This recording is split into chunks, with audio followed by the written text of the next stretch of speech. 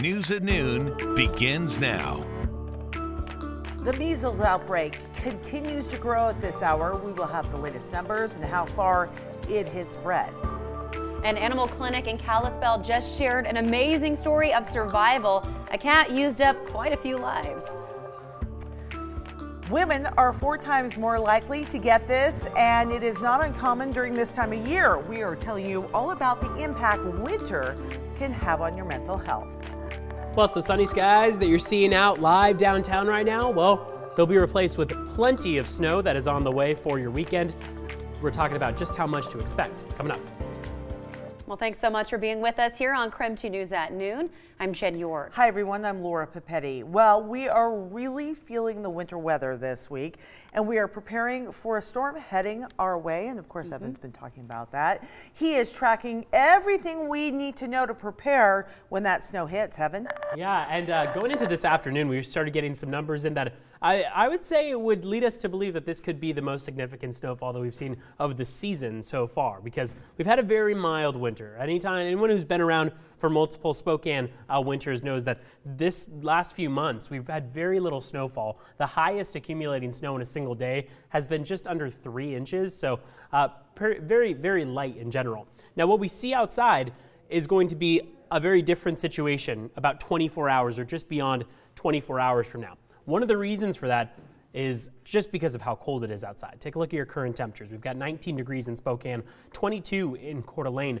13 in Mazama, and 19 in Ritzville. Outside, no stormy weather right now, just a little bit of cloud cover, but look what we have in anticipation for tomorrow. A winter storm watch is in effect for Spokane and most of North Idaho into western Montana. This will likely be upgraded to a winter storm warning or a winter weather advisory uh, as we go towards tomorrow. But for now, we're only dealing with dry skies. Now, clouds are going to build going into your evening hours. Temperatures are going to be making their way up to 25 and then dropping down uh, to the lower 20s into the overnight hours.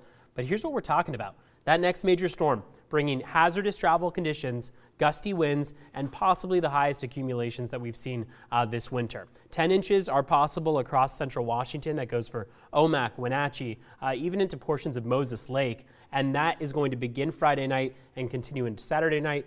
Coming up, we're talking about how much to expect throughout Spokane and Coeur d'Alene and the rest of North Idaho, because a lot of these uh, estimates of just how much snow to expect uh, are different depending on where you are in the Northwest. So we'll throw that map up coming up in just a bit. All right, my friend, thank you. It is 1202 right now. Classes resumed on schedule today at Central Washington University, and this was following a report of an active shooter. It turned out it was a false alarm here. The campus was locked down for an hour and a half last night while police responded. Now, it started around 7 and the school quickly alerted students. Officers searched the campus but determined there was no shooter. They say there were no shots fired and no one was hurt. Now, it's still unclear what initially sparked that call and the subsequent investigation. Inmates at the Coyote Ridge Correction Center, this is in Connell, are staging a hunger strike. They want hot meals for breakfast. Right now, inmates get breakfasts that include oatmeal, muffins, bread, and other cold items.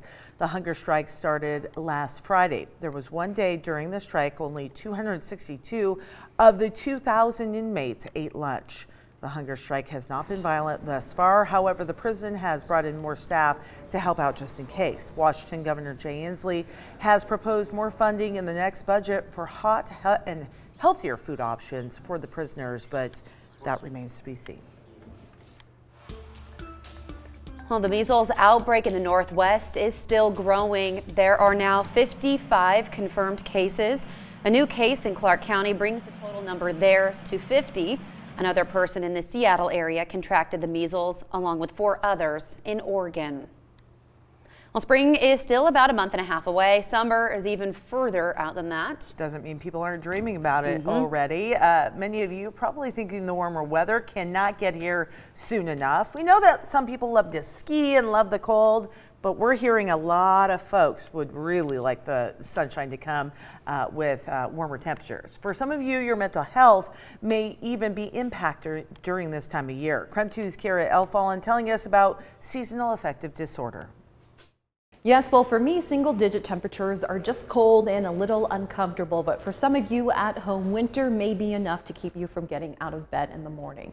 Seasonal affective disorder is very real and it's a form of depression that typically starts in the fall or early winter, going away around springtime. You may be thinking, hey, this could be me, but to be diagnosed with SAD, there's a list of symptoms that fall in line with major signs of depression. According to the National Institute of Mental Health, some of these symptoms include feeling depressed most of the day or every single day, feeling hopeless or worthless, having low energy, or losing interest in activities you normally like, and the list goes on. There are also symptoms that are more specific to winter seasonal affective disorder, including having low energy, hyperinsomnia or excessive sleepiness, overeating, weight gain, and social withdrawal. Women are also four times more likely to be diagnosed with SAD, along with people who have a history of depression in their family. Now, there are many forms of treatment for seasonal affective disorder, so if this is something that you feel like you have, you should definitely go in and consult with your doctor. We also have more information on krem.com if you're more interested in learning about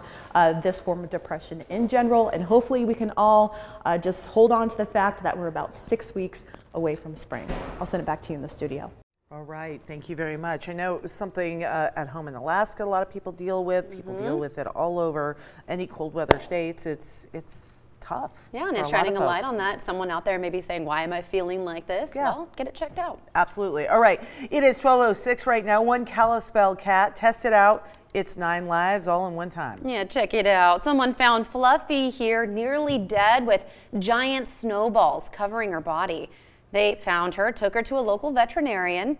Experts say she was basically frozen and unresponsive, oh. but they were able to put her on a heating pad and help to warm her up. After several hours, veterinarians say she was back to normal, and they were able, this is the good part, they were able to track down and return her to her family. Yeah, apparently they were missing her and, yeah, and wanted her.